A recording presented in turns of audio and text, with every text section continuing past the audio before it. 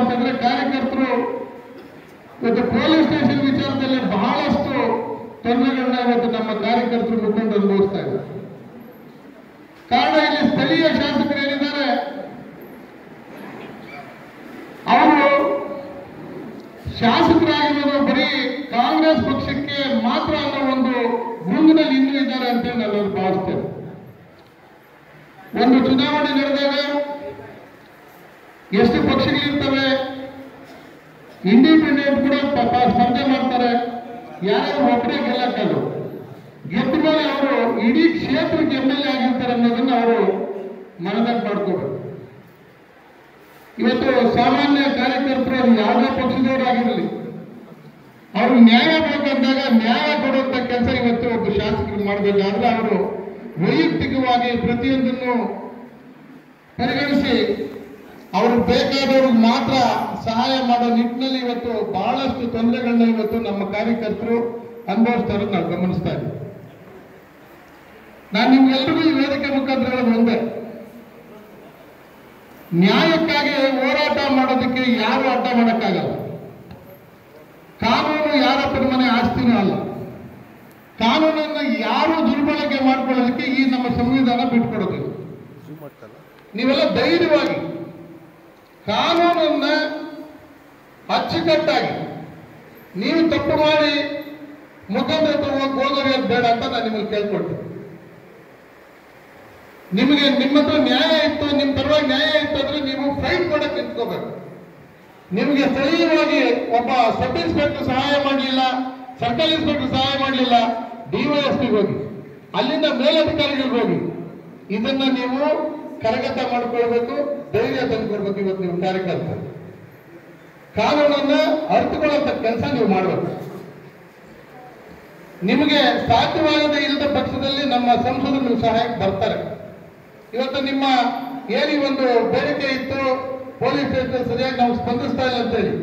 ನಮ್ಮ ಸಂಸದರು S P ಅವರು ಫೋನ್ ಮಾಡಿ ಅವ್ರ ಆಫೀಸ್ಗೆ ಸುಮಾರು ಒಂದು ಮೂವತ್ತು ನಲವತ್ತು ಜನ ಮುಖಂಡರ ಎರಡು ಭಾಗದಿಂದ ಕರ್ಕೊಂಡು ಕೂತ್ಕೊಂಡು ಏನ್ ನಡೀತಾ ಇದೆ ಅಂತ ಹೇಳಿ ವಾಸ್ತವಾಂಶನ ಅವ್ರು ಮುಂದಾಗಿ ಅವ್ರು ವಿವರಿಸಿದ್ದಾರೆ ನ್ಯಾಯವಾಗಿ ಕೆಲಸ ಮಾಡ್ಬೇಕಂತೇಳಿ ಅವರು ಪ್ರಾಕ್ಟೀಸ್ ಮಾಡಿದ್ದಾರೆ. ಇಲ್ಲಿ ನಾವು ಒಂದನ್ನು ಅರ್ಥ ಮಾಡ್ಕೋಬೇಕು. ಶಾಸಕರು ಮಾಡುವಂತ ಕೆಲಸಗಳು ಬೇರೆ, ಸಂಸದರು ಕೆಲಸಗಳು ಬೇರೆ. ಮಲ್ಲೇಶ್ ಅಣ್ಣವರು ಸಂಸದರಾಗಿ ಕೋಲಾರ ಲೋಕಸಭಾ ಕ್ಷೇತ್ರದಲ್ಲಿ ಏನು ಎಂಟು ಕ್ಷೇತ್ರಗಳು ಬರ್ತವೆ? ಎಂಟು ಕ್ಷೇತ್ರಗಳಲ್ಲಿ ಶಾಶ್ವತವಾಗಿ ಯಾವ ಕಾರ್ಯಕ್ರಮ ನಾನು ಮಾಡಬೇಕು?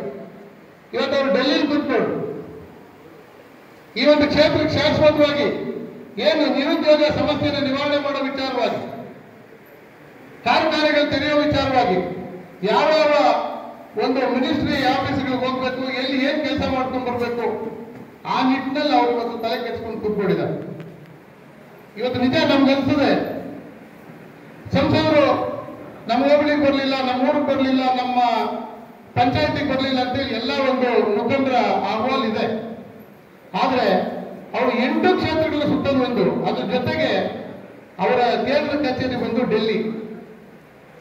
ಸಾಮಾನ್ಯವಾಗಿ ವಾರಕ್ಕೊಂದ್ಸತಿ ಹದಿನೈದು ದಿನಕ್ಕೆ ಎರಡು ಸತಿ, ಮೂರು ಸತಿ ಕೂಡ ಅವರು ಡೆಲ್ಲಿ ಭೇಟಿ ಮಾಡೋ ಒಂದು ಸಂದರ್ಭದಲ್ಲಿ ಅವರಿಗೆ ಹೆಚ್ಚಿನ ಸಮಯ ಸಿಗ್ತಾ ಇಲ್ಲ. ಇದನ್ನ ನಮ್ಮ ಎಲ್ಲ ಮುಖಂಡರು ಮತ್ತು ಕಾರ್ಯಕರ್ತರು ಅರ್ಥ ಮಾಡ್ತಾರೆ ಏನೇ ಇರಲಿ, ಸ್ಥಳೀಯವಾಗಿ ನೀವು ಮುಖಂಡರು ಒಂದಾಗ್ಬೇಕು. ಇವತ್ತು ಭಾರತೀಯ ಜನತಾ ಪಕ್ಷ ಮತ್ತೆ ಜಾತ್ಯತೀತ ಜನತಾದಳ ಹಾಲು ಜೇನಿನ ರೀತಿ ಇಡೀ ರಾಜ್ಯದಲ್ಲಿ ಇವತ್ತು ಬೆರ್ತು ಕೆಲಸ ಮಾಡ್ತಾ ಇದೆ. ನಾವೇನು ಲೋಕಸಭಾ ಚುನಾವಣೆಯಲ್ಲಿ ನಮ್ಮ ಎರಡೂ ಪಕ್ಷಗಳನ್ನ ಹೊಂದಿಸ್ಕೊಂಡು ಏನು ನಾವು ಚುನಾವಣೆ ಎದುರಿಸಿದ್ವಿ ಅವತ್ತಿಂದ ಇವತ್ತಿನ ತನಕ ಎಲ್ಲರೂ ಒಂದೇ ಒಂದು ವಿಚಾರ ಇವತ್ತು ಪಕ್ಷದ ಒಡಕು ಎರಡೂ ಪಕ್ಷಗಳ ಮತ್ತೆ ಒಡಕುಂಟಾಗುವಂತಹ ಒಂದು ಘಟನೆ ಇವತ್ತು ರಾಜ್ಯದಲ್ಲಿ ನಡೆದಿಲ್ಲ. ಇನ್ನೂ ಅಂತ ನಾನು ನಿಮ್ಮಲ್ಲಿ ಕೇಳ್ಕೊಳ್ಳೋದು, ಎರಡು ಪಕ್ಷಗಳಲ್ಲಿ ಭೇದಭಾವ ಇನ್ನು ಮೇಲೆ ಬೇಡ. ಎಲ್ಲ ಮುಖಂಡರು ಒಂದಾಗಿ ಗ್ರಾಮ ಪಂಚಾಯತಿ ಮಟ್ಟದಿಂದ ಹಿಡ್ಕೊಂಡು ಹೋಬಳಿ ಮಟ್ಟದಲ್ಲಿ ಒಂದು ಟೀಮ್ ಮಾಡಿದ್ರು. ಒಂದು ಟೀಮ್ ಮಾಡಿಕೊಂಡು ಎರಡೂ ಪಕ್ಷದ ಮುಖಂಡರು ಒಂದು ಜಾಗದಲ್ಲಿ ಕೂತ್ಕೊಂಡು ಹದಿನೈದು ದಿನಕ್ಕೂ ಇಪ್ಪತ್ತು ದಿನಕ್ಕೂ ಒಂದ್ ಕಡೆ ಕೂತ್ಕೊಂಡು ನೀವು ಚರ್ಚೆ ಮಾಡಿ ಇವತ್ತು ನಮ್ಮನ್ನೇ ನಂಬಿಕೊಂಡು, ಈ ಪಕ್ಷಗಳನ್ನೇ ನಂಬಿಕೊಂಡು ನಮ್ಮನ್ನೇ ಫಾಲೋ ಮಾಡ್ತಾ ಇದ್ದಾರೆ. ಯಾವುದೇ ಅನೇಕ ರೀತಿಯಲ್ಲಿ ಅನೇಕ ಕಾರ್ಯಕರ್ತರು, ಮುಖಂಡರು ಕೂಡ ಕಷ್ಟ ಅಂತ ಹೇಳೋಕ್ಕಾಗೋದಿಲ್ಲ ಕೆಲವಾರು ಪರಿಸ್ಥಿತಿ ಕಷ್ಟಗಳಿದೆ. ಅನೇಕ ರೀತಿಯಲ್ಲಿ ಅವರದೇ ಆಗಿರ್ತಕ್ಕಂಥ ವ್ಯವಸ್ಥೆಯಲ್ಲಿ ಇವತ್ತು ಸೀಸ್ತಾ ಇದ್ದಾರೆ. ಆದರೂ ಕೂಡ ಯಾವುದೇ ಕಾರಣ ಕೂಡ ನಮ್ಮನ್ನು ತೊರೆದು, ಈ ಪಕ್ಷಗಳನ್ನ ತೊರೆದು, ನಮ್ಮನ್ನಾಗಲಿ ಜೆ ಡಿ ಎಸ್ ಅನ್ನಾಗಲಿ ತೊರೆದು ಇವತ್ತು ಬೇರೆ ಕಡೆ ನೋಡಿಲ್ಲ. ಅದಕ್ಕೆ ಇವತ್ತು ನಮ್ಮ ತಾಲೂಕಿನ ಇರ್ತಕ್ಕಂಥ ಎಲ್ಲ ಮುಖಂಡರನ್ನು ನಾವು ಪ್ರಶಂಸೆ ಮಾಡಬೇಕಾಗಿದೆ. ಅವರನ್ನು ಅಭಿನಂದಿಸಬೇಕಾಗ್ತದೆ.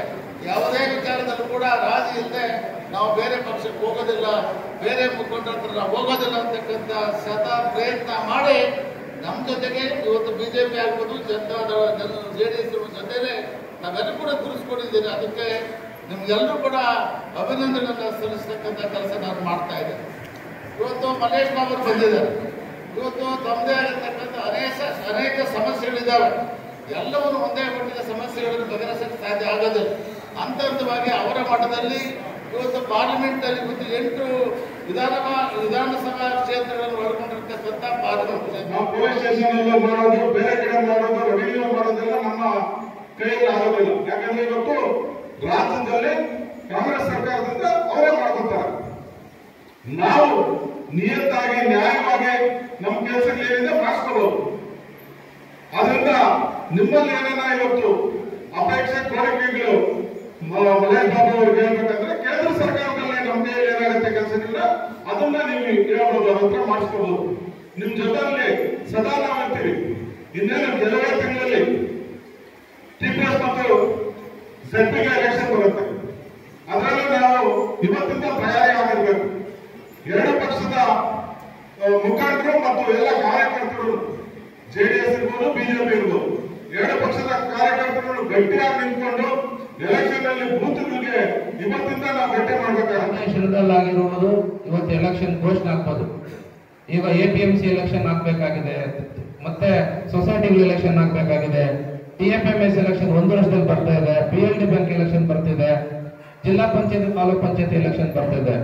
ಈ ಎಲ್ಲ ಎಲೆಕ್ಷನ್ಗಳನ್ನು ಕಾರ್ಯಕರ್ತರ ಎಲೆಕ್ಷನ್ ಪ್ರತಿಯೊಬ್ಬ ಸಾಮಾನ್ಯ ಕಾರ್ಯಕರ್ತನು ಕೂಡ ನಾನು ನಿಂತ್ಕೋಬೇಕು ಅಂತ ಆಸೆ ಇರುತ್ತೆ. ಸೀಟ್ ಬೇಕು ಅಂತ ಕೇಳುವಂತ ಶಕ್ತಿ ಎಲ್ರಿಗೂ ಇರುತ್ತೆ. ಆ ಒಂದು ಚುನಾವಣೆಯಲ್ಲೂ ಕೂಡ ಇವತ್ತು ವೇದಿಕೆ ಮೇಲೆ ನಾವು ಯಾರು ಇದರ ಒಡ್ಡ ಒಗ್ಗಟ್ಟಾಗಿ ಇದೇ ಒಗ್ಗಟ್ಟು ಮುಂದುವರಿಬೇಕು ಬಂಗಾರಪೇಟೆ ವಿಧಾನಸಭಾ ಕ್ಷೇತ್ರದಲ್ಲಿ ಎನ್ ಡಿ ಅಭ್ಯರ್ಥಿ ಯಾರೇ ಆಗಿರಲಿ ನಾವು ಗೆಲ್ಲಿಸಬೇಕು ಅಂತ ನಾನು ಮನವಿ ಮಾಡ್ತಾ ಇದ್ದೀನಿ. ನಾನು ಭಾರತೀಯ ಜನತಾ ಪಾರ್ಟಿಯ ಜಿಲ್ಲಾ ಪ್ರಧಾನ ಕಾರ್ಯದರ್ಶಿಯಾಗಿ ಇವತ್ತು ಎರಡು ಪಕ್ಷದ ಜನ ಸೇರಿದ್ದಾರೆ.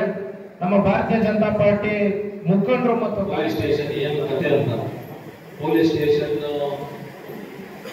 ಇರೋದು ರಾಜ್ಯ ಸರ್ಕಾರ ರಾಜ್ಯ ಸರ್ಕಾರ ಒತ್ತಡ ಹಾಕ್ತಾರೆ ಎಂ ಎಲ್ ಎಗಳು ಹಾಕ್ತಾರೆ, ಎಲ್ಲ ಮಿನಿಸ್ಟರ್ಗಳ ಮೇಲೆ ಒತ್ತಡ ಹಾಕ್ತಾರೆ ಬಟ್ ನಾವು ಯಾವಾಗ ಕರೆಕ್ಟ್ ಆಗಿರ್ತೀವೋ, ಆವಾಗ ಪೊಲೀಸರು ನಾನು ಫೋನ್ ಮಾಡಿ ಹೇಳಿದ್ರೆ ನಾನಾಗಲಿ ಮಾಜಿ ಶಾಸಕರಿಗೆ ನಮ್ಮ ನಾಯಕ ಅವರು ನಮ್ಮ ಕೆಲಸ ಕೇಳೇ ಕೇಳಬೇಕಾಗಿದೆ ನಮ್ಮ ಕೆಲಸಗಳು ಮಾಡಿಕೊಡ್ತಾರೆ. ಯಾಕಂದ್ರೆ ಈಗಾಗಲೇ ಕಾಮಸಾಪುರ ಬುದಿಕೋಟೆಯಲ್ಲಿ ಒಂದು ಐದಾರು ಸತಿ ನನಗೆ ಫೋನ್ ಮಾಡಿಸ್ತಾರೆ ಕೆಲಸ ಮಾಡಿಕೊಡ್ತಾರೆ ಪೊಲೀಸರು ಪೊಲೀಸರು ಏನು ಕೆಟ್ಟವ್ರನ್ನ ಅವರು ನಮಗೆ ಸಹಾಯ ಮಾಡ್ತಾರೆ. ಏನು ಅದಕ್ಕೇನು ಇದು ಮಾಡಕ್ ಹೋಗ್ಬೇಡಿ.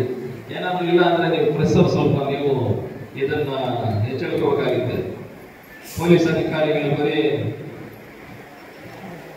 ರಾಜ್ಯ ಸರ್ಕಾರದ ಮಾತು ಕೇಳ್ತಾರೆ ಅಂತ, ಕೇಂದ್ರ ಸರ್ಕಾರ ಮಾತು ಕೇಳಿ ಅಂತ ಬರೀ ನೀವು ಪೇಪರ್ ಬಂದ್ರೆ ಅವ್ರಿಗೂ ಒಂದು ಇದಾಗುತ್ತೆ ಪೊಲೀಸರು